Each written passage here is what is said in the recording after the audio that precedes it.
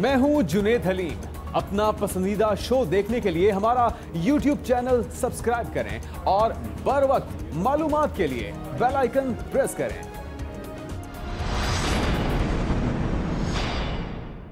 السلام علیکم، میں محمد جنید حلیم۔ ناظرین، بدلتا ہے رنگ آسماں کیسے کیسے؟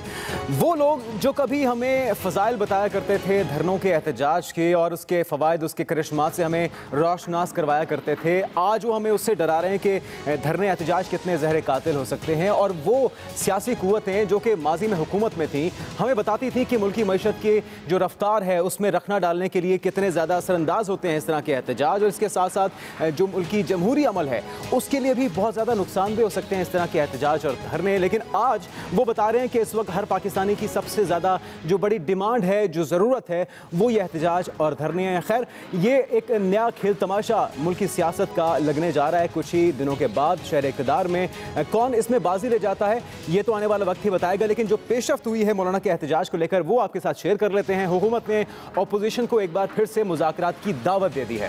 اور مذاکراتی ٹیم کے سربراہ، جو کہ پرویز خٹک صاحب ہیں انہوں نے کہا ہے کہ اگر مطالبات سامنے نہیں آئیں گے تو پھر افراتفری ہوگی اور اس کی ذمہ دار بھی اپوزیشن جماعتیں ہوں گی۔ اور اس کے ساتھ ساتھ انہوں نے اپوزیشن کو خبردار بھی کیا۔ اور یہ کہا ہے کہ حکومت رٹ چیلنج ہوئی تو پھر قانون حرکت میں آ جائے گا۔ دوسری جانب وزیر خارجہ شاہ محمود قریشی وہ یہ کہتے ہیں کہ احتجاج سب کا حق ہے، لیکن آئین ڈنڈا بردار ملیشیا کی اجازت نہیں دیتا ہے اور ان کے خلاف ایکشن لینے کا بھی۔ انصار الاسلام جو کہ ملیشیا ایک جماعت ہے جو کہ ڈنڈا بردار فورس تیار کی گئی ہے، جے یو آئی فے کی جانب سے اس پر پابندی لگانے کا بھی حکومت نے فیصلہ کر لیا ہے۔ تو احتجاج کرنے والے والوں سے جمہوری طریقے سے نمٹیں گے، یہ کہنا ہے حکومت وقت کا۔ اب دیکھنا یہ ہے کہ اپوزیشن کو کس بات کا انتظار ہے۔ کیا اپوزیشن کے پاس کوئی مطالبات ہیں بھی صحیح؟ یا پھر بقول حکومتی وزراء یا پھر وزیر اعظم جو کہتے رہے ہیں کہ یہ سارا شور صرف اور صرف تین الفاظ یعنی کہ این آر او پر مشتمل ہے، کیا یہ حقیقت ہے؟ انہی موضوعات پر آج کے پروگرام میں ہم بات کریں گے۔ جس کے لیے ہمیں جوائن کر رہی ہیں کراچی سے رہنما پیپلز پارٹی سیدہ شہلہ رضا صاحبہ۔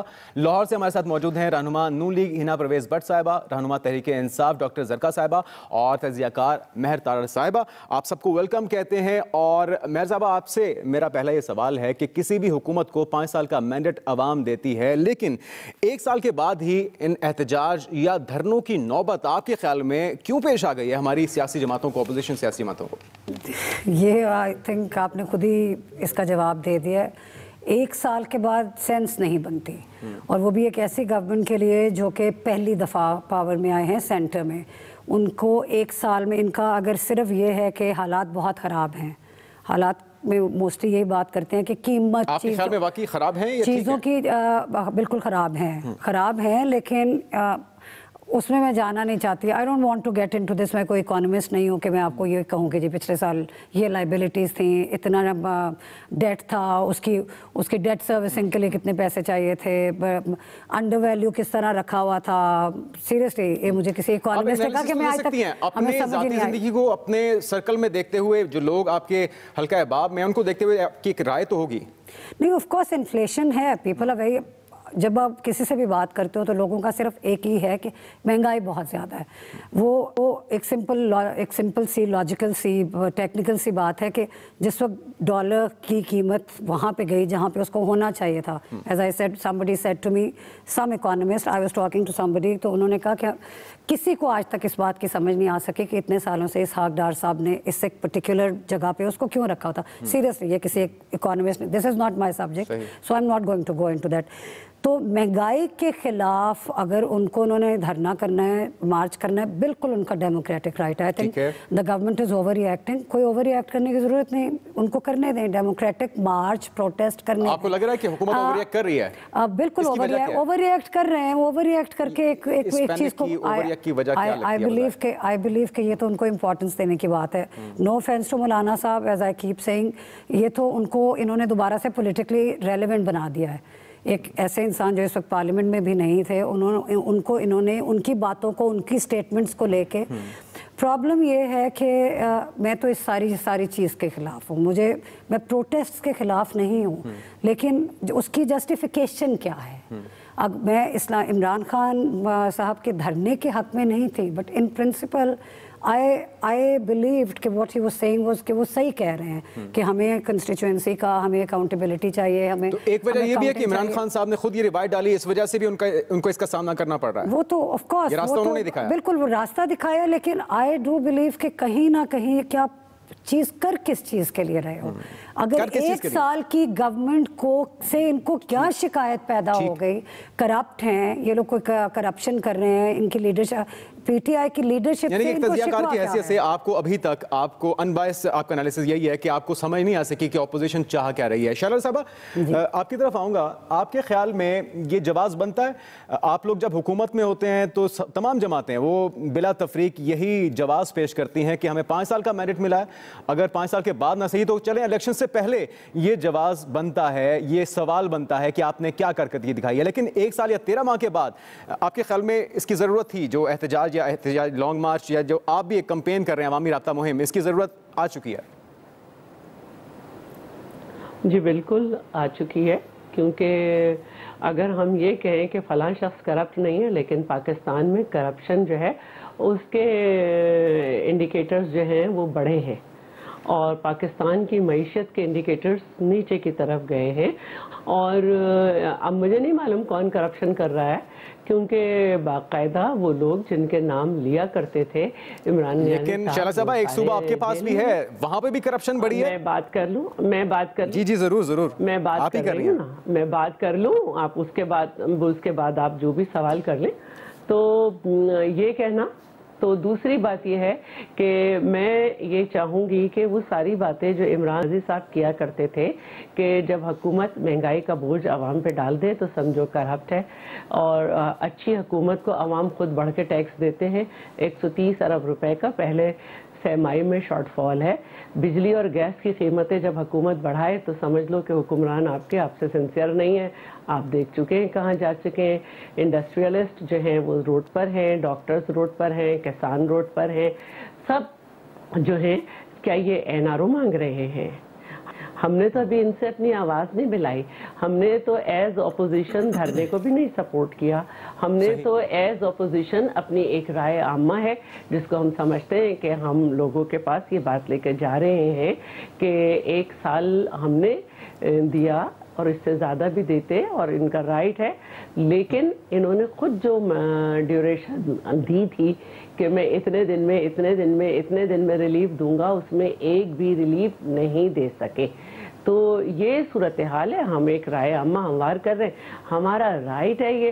اور باقی ہے کہ اگر جمہوری طریقے سے کوئی احتجاج کرنا چاہ رہا ہے تو احتجاج غلط ہے یا صحیح اس کے ججمنٹ ہم نہیں کریں گے۔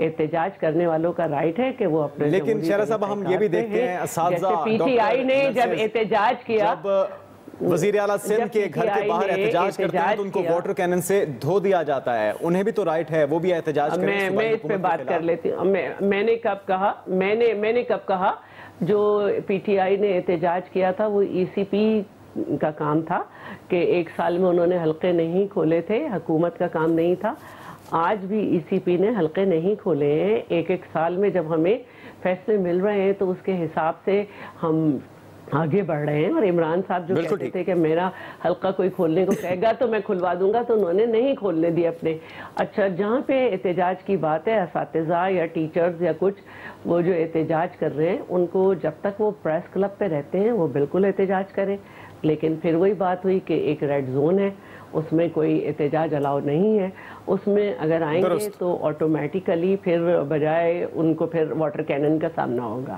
بالکل ٹھیک ہے، بالکل ٹھیک ہے۔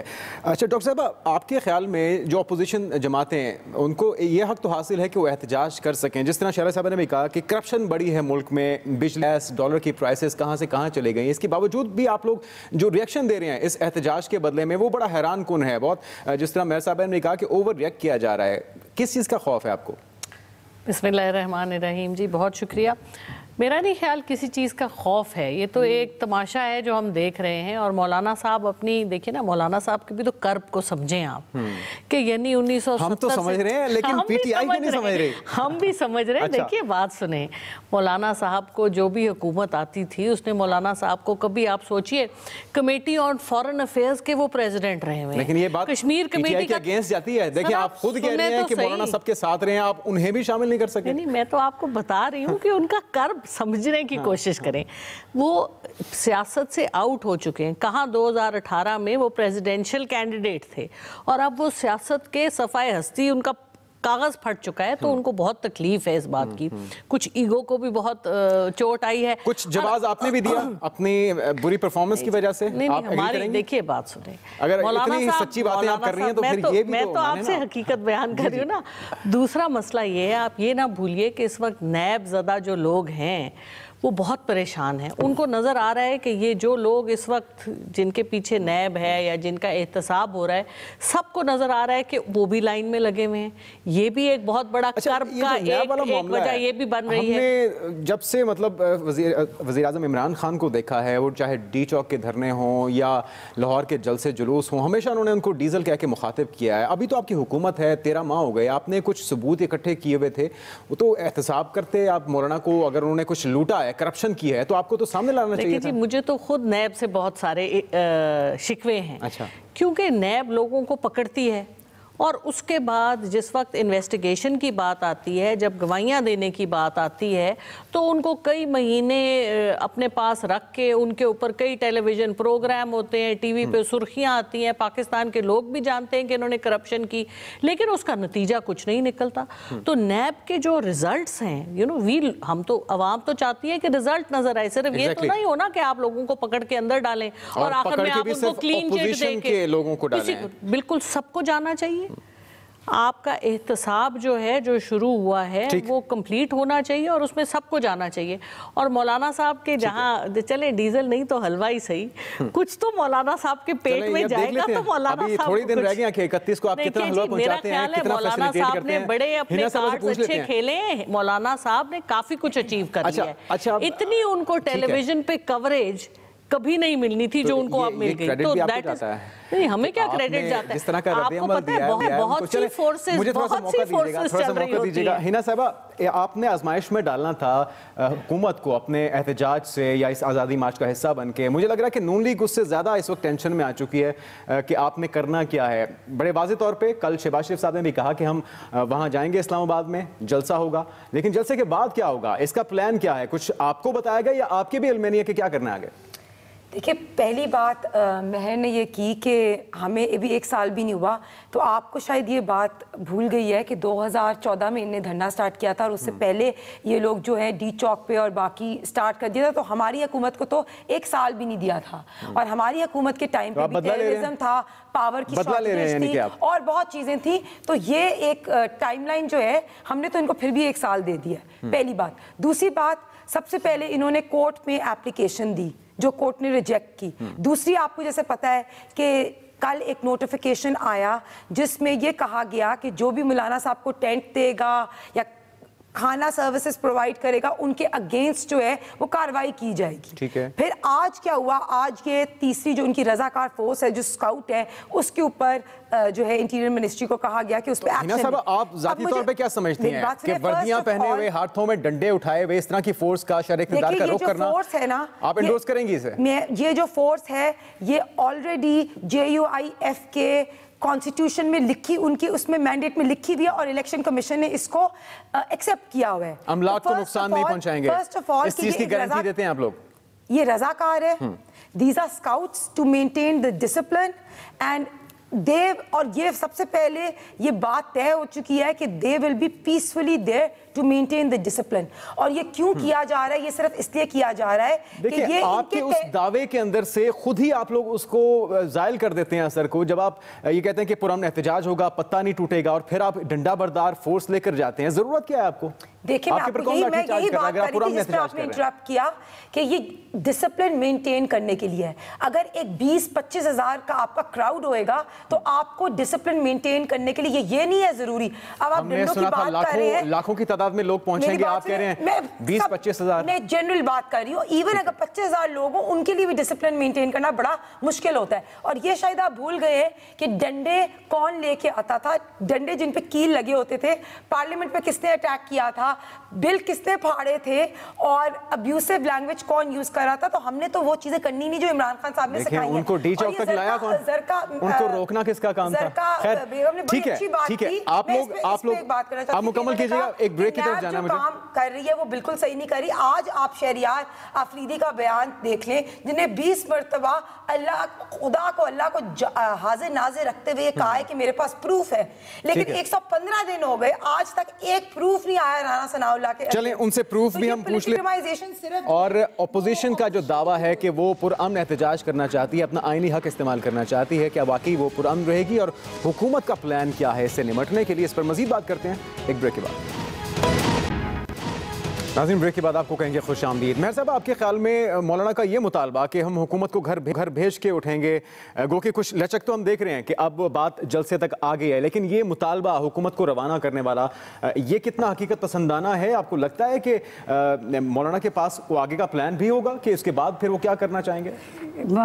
اس طرح کے بیانات کو اتنی ہی امپورٹنس دینی چاہیے جتنی ان کی امپورٹنس ہے، کیونکہ یہ یہ ساری، یہ ٹکرز ہیں، یہ ہیش ٹیگز ہیں، یہ یہ ہیڈ لائنز ہیں کہ ہم حکومت کو بھیج دیں گے۔ ان کے پاس اگین نو افینس ٹو ہم آف کورس ریلیجس آرگنائزیشن ہے، بڑی آرگنائزڈ ہے ان کے پاس مین پاور بھی ہے، ان کی ریلیز بھی بہت بڑی ہوتی ہیں۔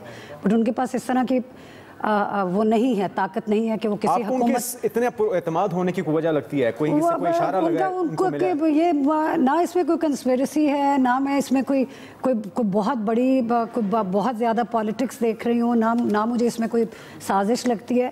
وہ اٹھے ہیں پولیٹیکل ریلیونس کی وجہ سے وہ انہوں نے یہ سارا کام شروع کیا باقی اس کو وہ کوئی بھی کوئی بھی اس کو اس کو ٹیگ دے دیں۔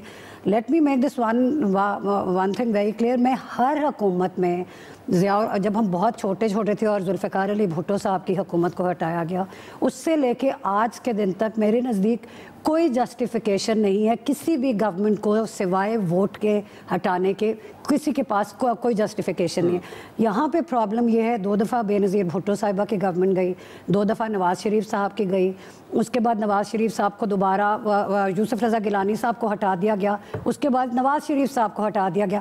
بجائے یہ کہ یہ لوگ اتنا اتنے برے ایکسپیرینس میں سے گزرے ہیں and they reacted against that consistently Nawaz Sharif صاحب نے دو ہزار بارہ میں بیان دیا تھا آصف زرداری صاحب کے یوسف رضا گیلانی صاحب کے بارے میں that he deserve to go اور سپریم کورٹ نے بڑا مشکل فیصلہ کیا اور وہ چلے گئے۔ سلسلہ نہیں رکنا ان کو ان کو سبق سیکھنا چاہیے وہ عمران خان ہوں آصف زرداری ہوں نواز شریف صاحب ہوں کسی کو بھی کسی کو بھی دھرنوں سے اور پروٹیسٹ سے ہٹانے کی کوشش نہیں کرنی چاہیے صاحب تو خود کہتے ہیں کہ ہمارا ایک سو چھبیس دن کا تجربہ ہے ہم لوگ بھی گو کہ وہ دعویٰ تو یہ کرتے تھے کہ امپائر کی انگلی اٹھنے والی ہے اس کے باوجود وہ حکومت کو گرا نہیں سکے تھے۔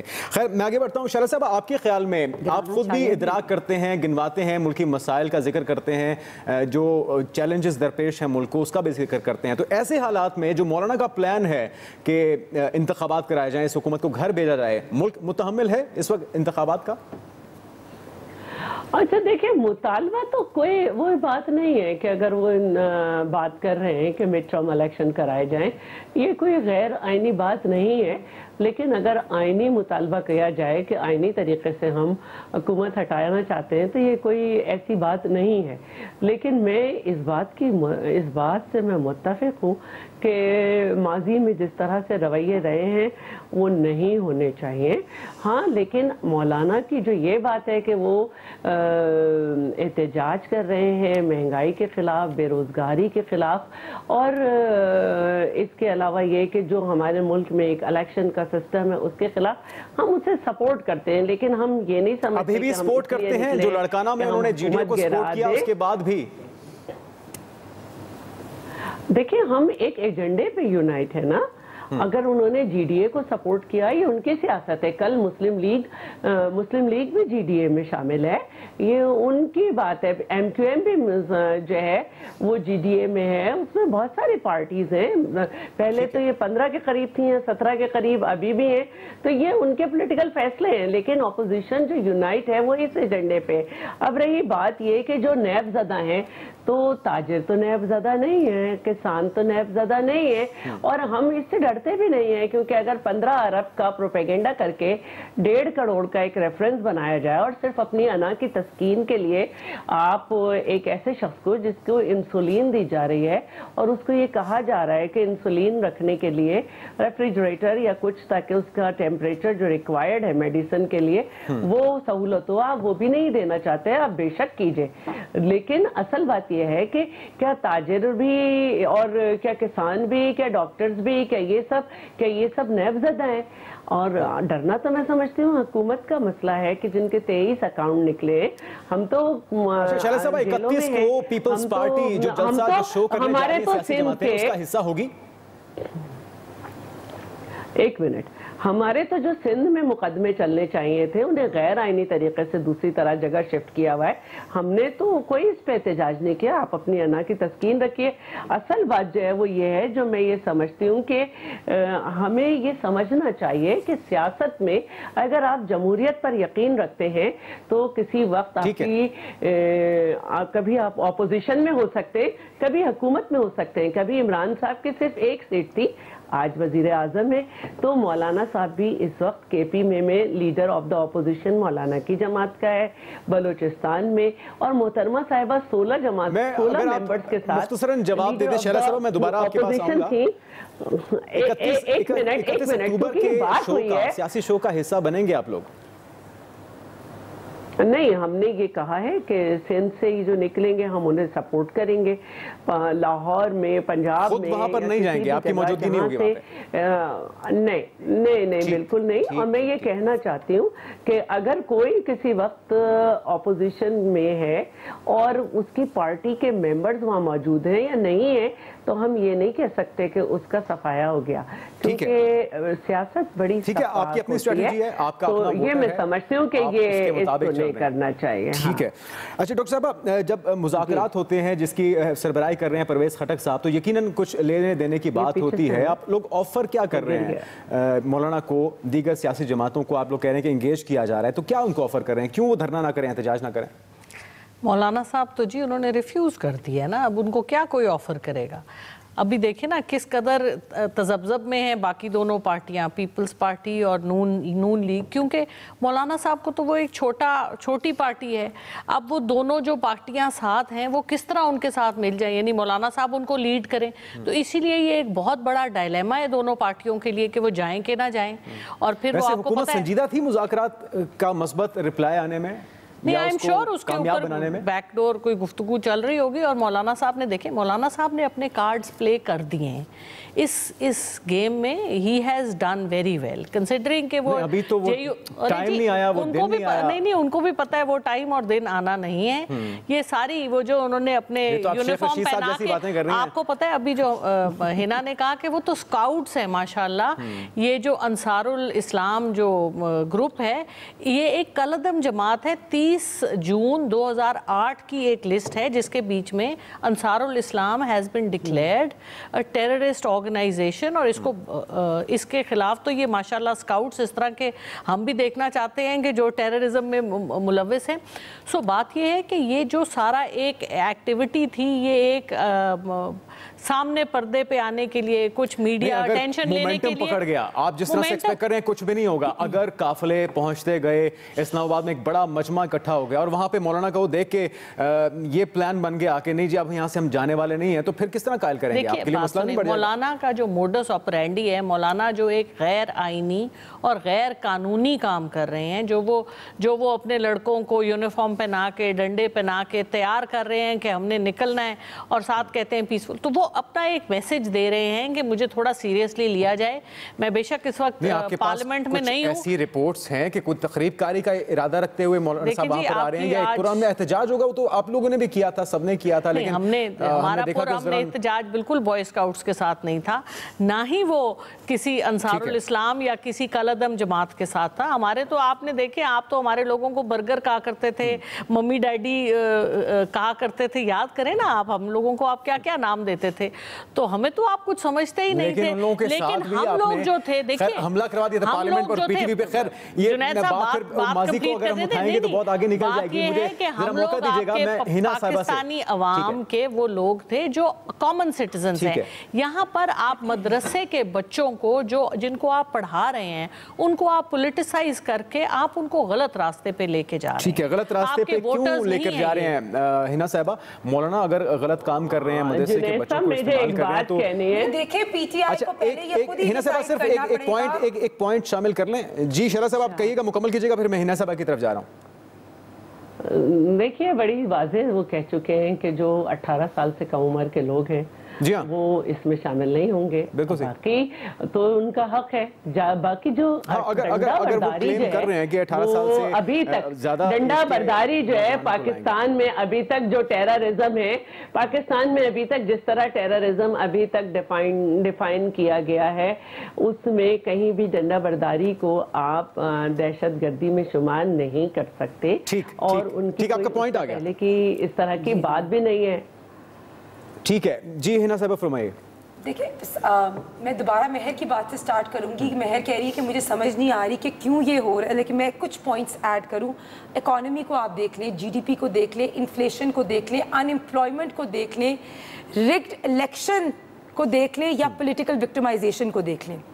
میں ایک چھوٹا سا انسٹنٹ بتاتی ہوں کہ مریم نواز شریف صاحبہ جو ہیں پولیٹیکل قیدی ہیں۔ ان کے اپنے ڈاکٹر ڈاکٹر عدنان کو ان کو ملنے کی اجازت نہیں دی گئی اور ان نے آئی جی پنجاب کو لیٹر لکھا کہ پلیز مجھے ملنے دیں کیونکہ ہمیں یہی خبریں آ رہی تھی کہ ان کی طبیعت بہت خراب ہے۔ تو پولیٹیکل وکٹمائزیشن کی تو اتنی جو ہے وہ لیول ہائی ہے۔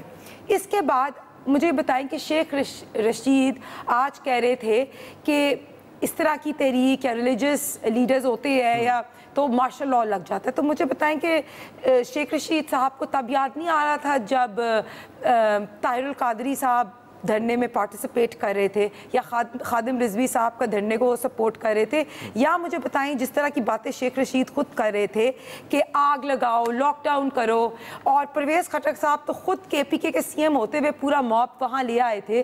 تو مجھے تو لگتا ہے پی ٹی آئی کو خود بھی نہیں پتا کہ انہوں نے ہمارے ساتھ انہوں نے یہ دونوں کے ساتھ یہ مسئلہ ہے۔ ساتھ المیہ کرنا ہے کہ انہوں نے ہمیں آپ ڈرانا جو ہے۔ بات ماضی میں کر رہے تھے، ایک طرف وہ کہتے ہیں اس کے بالکل opposite بات کر رہے ہیں۔ ہم کمیٹی بنا رہے ہے۔ ہیں دوسری طرف وہ مولانا صاحب کو اپنے اس کاپی پیسٹ پروگرام جو انہوں نے پی ایم ایل این کا ٹھیک ہے یعنی کہ اپوزیشن اور حکومت دونوں یہ دعویٰ کر رہے ہیں کہ عوام کی خدمت کر رہے ہیں لیکن عوام اس کے باوجود ایک آزمائش کا سامنا کر رہے ہیں آزمائش کب تک چلے گی؟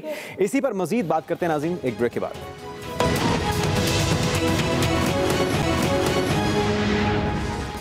بریک کی بات خوش آمدید۔ اچھا مہر صاحب، شیخ رشید صاحب ہمیشہ پیش گو- پیش گوئیاں کرتے ہیں مستقبل کے حوالے سے۔ پہلے وہ ڈراتے رہے مولانا کو کہ ڈینگی مچھر کا موسم ہے، وہاں پہ دھرنا احتجاج نہیں دینا چاہیے۔ پھر وہ کہتے رہے، مذاکرات کے دروازے بند ہو جائیں تو حادثات ہو جاتے ہیں۔ اب وہ کہہ رہے ہیں کہ مولانا حضرات نے جب بھی کوئی اس طرح کا احتجاج کیا ہے تو اس کے بعد مارشل لا لگا ہے۔ کوئی صداقت لگتی ہے یہ جس طرح سے وہ ڈرانے کی کوشش کر رہے ہیں تمام چیزوں سے؟ یہ اگین شیخ رشید صاحب کو تو ان کی تو ہر اسٹیٹمنٹ از وہ تو بولتے اس لیے ہیں کہ وہ ہیڈ لائن بن جائے۔ I would not take anything کچھ نہ کچھ تو ہوتا ہوگا ان کا ایز آئی سیڈ ہم نے جنہوں نے بچپن میں دیکھا ہے نا ذوالفقار علی بھٹو کا سارا سارا اور مولانا مدودی اینڈ ساری جو پروٹیسٹ تھا اور اس کا جو نتیجہ نکلا جو آج کے دن تک قیمت دے رہا ہے Pakistan. As a Pakistani sense میں کسی پارٹی میں نہیں ہوں کسی گورنمنٹ میں نہ کبھی تھی نہ ہوں اور پرابیبلی نہ ہوں گی.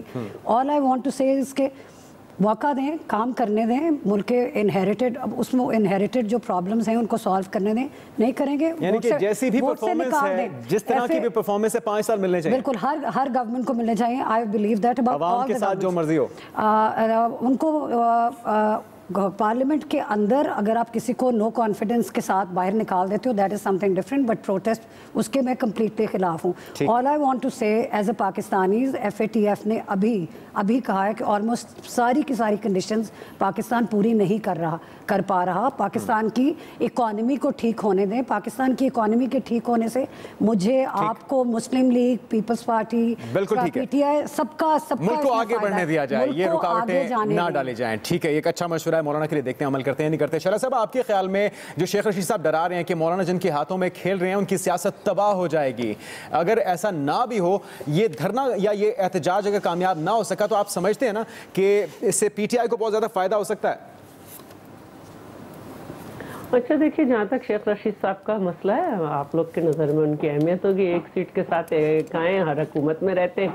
آپ لوگ کی مجبوری ہے سولو پروگرام کرتے ہیں میں ان کی کسی بات پہ رپلائی نہیں کرنا چاہتی اس قابل نہیں سمجھتے اس کے بیان کو۔ چلیں ان کی بات پہ ریپلائی نہ کریں یہ تسلیم کریں گی آپ۔ ہاں۔ یہ آپ تسلیم کریں گی کہ اگر یہ احتجاج ہر ماشاءاللہ کے ہر ماشاءاللہ کے بھی ساتھ رہے۔ بڑا نہ ہوا تو حکومت کو فائدہ ہوگا۔ دیکھیے میں آپ کو ایک بات بتاؤں۔ میں آپ کو ایک بات بتاؤں۔ میں ایک پولیٹیکل ورکر ہوں اس پر مجھے بہت فخر ہے۔ اور کوئی بھی پولیٹیکل ورکر جب احتجاج کرتا ہے تو وہ ناکام نہیں ہوتا اس کے بالکل اثرات ہوتے ہیں تاریخ پہ اور ہر چیز پہ۔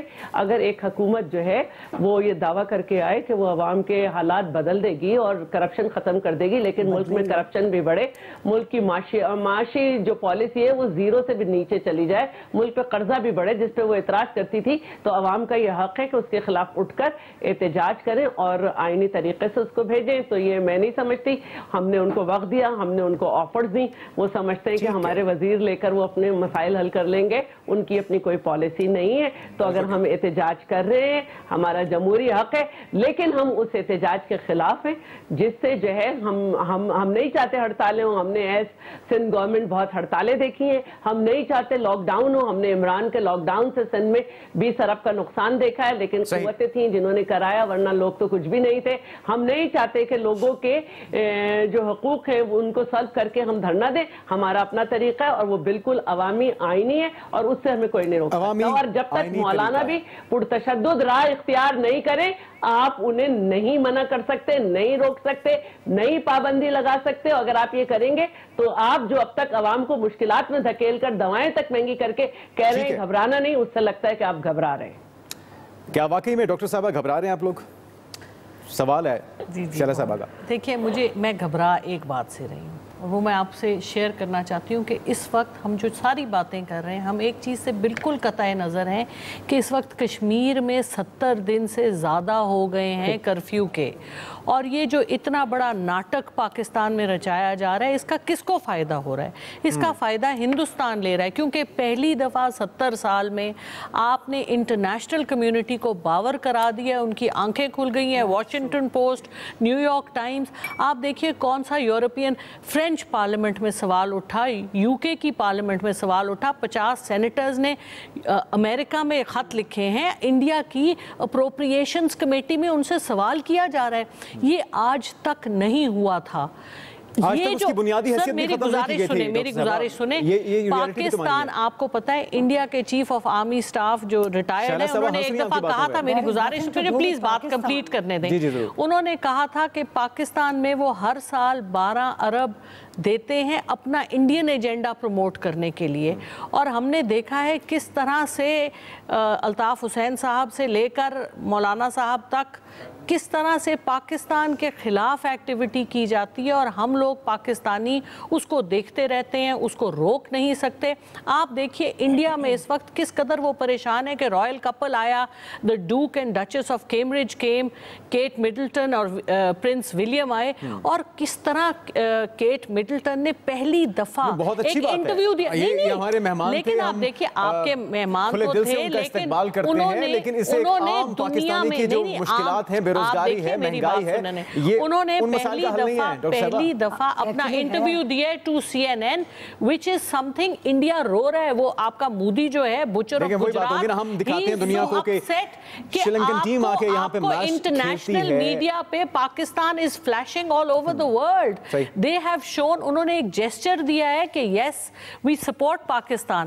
تو کہ دیکھئے جب آپ آپ اس وقت پاکستان کے ارینہ میں پاکستان کے مخالف لوگوں کو جگہ جگہ دے رہے ہیں۔ یہ تماشے تو ہم دیکھتے آ رہے ہیں لیکن we have to look at the bigger picture Kashmir کے ساتھ جو ظلم ہو رہا ہے اور جس طرح سے وہاں کے لوگوں کے ساتھ مظالم ہو رہے ہیں ایک ناظرین بریک لیتے ہیں اور ہنہ صاحبہ کی رائے کیا ہے؟ نون کیا سوچتی ہے؟ اور اس احتجاج سے وہ کیا واقعی میں پاکستانی عوام کی مشکلات کا ازالہ ممکن بنا پائیں گے یا پھر صرف یہ باتوں کی حد تک محدود رہے گا معاملہ؟ اس پر بات کرتے ہیں ایک بریک کے بعد۔ بریک کے بعد خوش آمدید ہے صاحبہ آپ کس طرح سے عوام کو یقین دلائیں گے کہ آپ ان کا درد محسوس کرتے ہوئے اس احتجاج کا حصہ بن رہے ہیں؟ این آر او مانگنے کے لیے نہیں۔ دیکھیں آج مجھے بڑی ہنسی آ رہی تھی۔ میں عمران خان صاحب کا پڑھی تھی بیان کہ انہوں نے کہا ہے کہ عمران خان صاحب نے مہنگائی کا نوٹس لے لیا۔ اصل میں ہوا یہ ہے کہ قوم نے عمران خان صاحب کی نااہلی نالائکی اور ان کے سلیکٹڈ ہونے کا نوٹس لے لیا ہے۔ اچھا۔ اور یہ صرف آزادی مارچ جو ہے وہ اپوزیشن کے اکٹھے ہونے کے لیے یہ سب لوگوں کی جو ہے ان کی پروٹیسٹ میں ہو رہی ہے۔ اب یہ چاہے ایران کا ٹرپ کر لیں، سعودی کا ٹرپ کر لیں، کوئی بھی بات کر لیں۔ ابھی جیسے یہ کہہ رہی ہے، بہت اچھی بات ہے۔ آپ کی پرنس اور پرنسس آئی ہے لیکن یہ ڈسٹریکشن جو ہے نا یہ ہاں۔ آپ اور اس سے قوم کو بے وقوف نہیں بنا سکتے۔ آپ ڈینگی کے کیسز دیکھ لیں آپ بیڈ گورننس ہاں۔ دیکھ لیں آپ جی ڈی پی دیکھ لیں آپ جتنی بھی باقی سارے فیکٹرز دیکھ لیں ہم نے دیکھا کل شہباز شریف صاحب کہہ رہے تھے کہ چھ مہینے ہمیں دے دیں ہم یہ سارے مسائل حل کر دیں گے۔ اسی طرح جس طرح وہ کہتے تھے چھ مہینے میں لوڈ شیڈنگ پہ قابو پا لیں گے۔ ہم جب ہم نے اپنی ٹینیور ختم کیا تو ہم نے لوڈ شیئرنگ پہ بھی قابو پا لیا تھا اور ٹیررزم پہ بھی۔ لیکن وہ چھ مہینے نہیں چار سال لگ گئے تھے ابھی مہر نے بڑی اچھی ایک بات کی ایف اے ٹی ایف کی۔ آپ کو پتہ ہے جب Pakistan first time F A T F میں شامل ہوا تھا ہماری حکومت نہیں تھی فیڈرل میں۔ ٹھیک ہے؟ 2015 میں ہم گری لسٹ سے نکل کے وائٹ لسٹ میں آئے اور تب اساق ڈار صاحب نے ریفارمز کیے تھے۔ ابھی مہر نے اساق ڈار صاحب کی بات کی تو میں آپ کو دوبارہ اور پھر اب دوبارہ اب وہ آئے ہیں ایف اے ٹی ایف میں بیکاز پھر سے اپنا جملہ مکمل کیجیے گا ہمیں کلوزنگ کی طرف بڑھنا ہے۔ اور میں ایک لاس چیز کر رہا ہے۔ مجھے اپنی تھوڑا سا کہ انسار الاسلام جو ہے نا It's not a terrorist organization. اگر وہ یعنی ہوتی ٹیررسٹ آرگنائزیشن کا یہ کہنا ہے کہ ان احتجاج کا حق ملنا چاہیے۔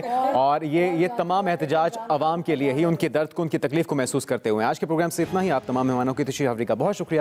اجازت دیجیے، اللہ حافظ۔ میں ہوں جنید حلیم۔ اپنا پسندیدہ شو دیکھنے کے لیے ہمارا یوٹیوب چینل سبسکرائب کریں اور بر وقت معلومات کے لیے بیل آئیکن پریس کریں۔